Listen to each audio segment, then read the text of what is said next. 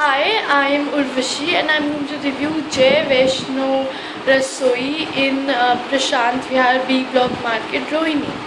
So it does not have a seating area, it's a very tiny place so it's better to get uh, food home delivered from here. The good thing about this place is that the food they serve North Indian is tasty but it's on the healthier side so the food uh, is not creamy and oily and it tastes pretty good.